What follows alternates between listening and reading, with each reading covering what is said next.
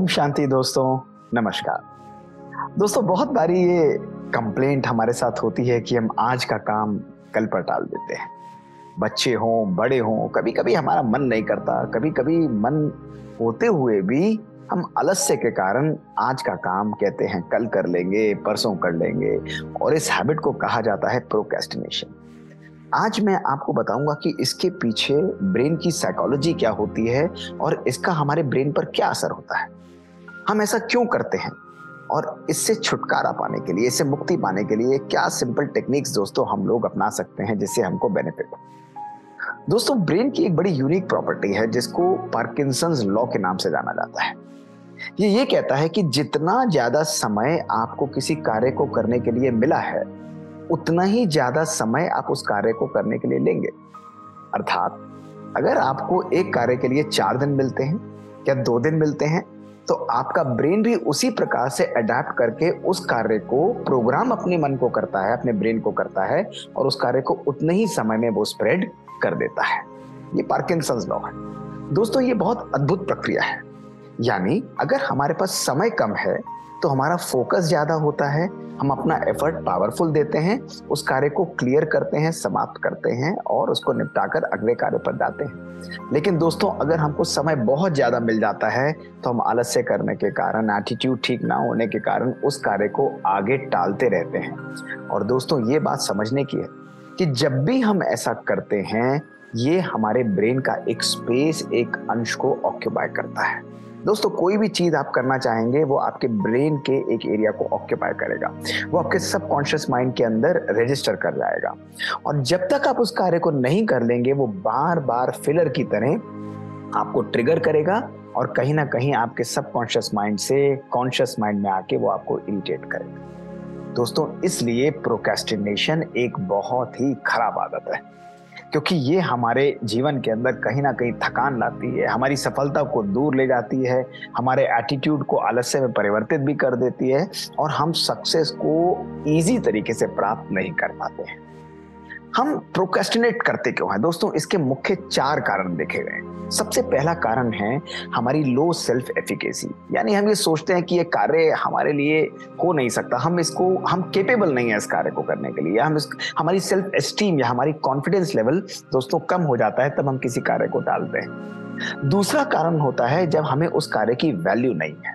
हम समझते हैं ये तो लो वैल्यू का कार्य है। हम हम इसको कल करेंगे या परसों करेंगे। तीसरा कारण होता है दोस्तों डिस्ट्रैक्शंस हमारे अंदर एटीट्यूड भी है, हमको मालूम है कि ये इंपॉर्टेंट भी है, लेकिन हमारी इम्पल्सिवनेस और हमारे डिस्ट्रैक्शन इतने ज़्यादा हैं कि हम उस कार्य को कर नहीं पाते। और चौथा कारण दोस्तों देखा गया है, वो है डिले यानी हमको कितना समय दिया गया है उस कार्य को करने के लिए।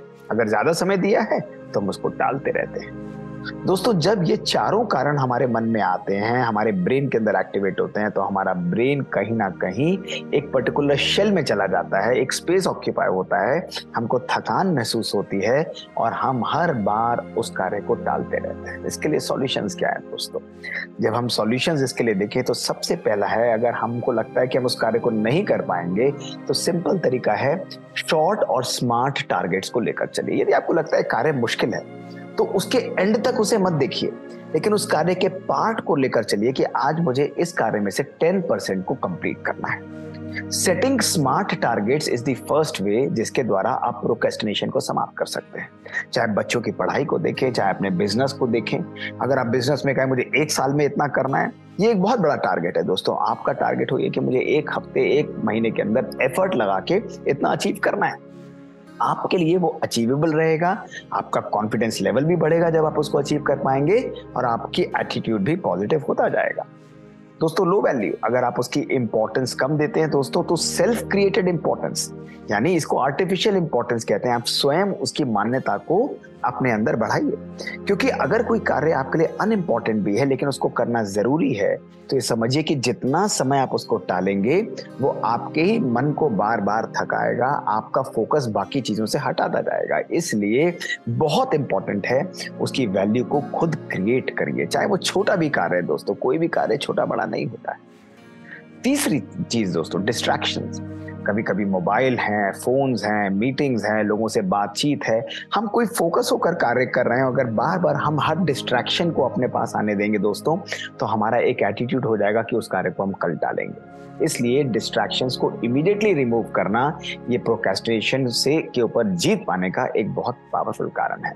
तो रूथलेस होना चाहिए हमें डिस्ट्रैक्शंस हटाने में। We should have a very powerful focus to remove all the distractions और दोस्तों, चौथा, वो है डिले अपने टारगेट को दोस्तों स्वयं सेट करिए। डेडलाइंस सेल्फ इम्पोज डेडलाइंस को क्रिएट करिए। अगर कोई आपको कहता है कि मैं आपको दस दिन दे रहा हूँ तो ज़रूरी नहीं, दस दिन में ही आपको कंप्लीट करना है। आप उसके लिए पाँच दिन, चार दिन, तीन दिन का टारगेट सेट करिए। जैसे ही आप ये करते हैं, आपका ब्रेन प्रोग्राम हो जाता है।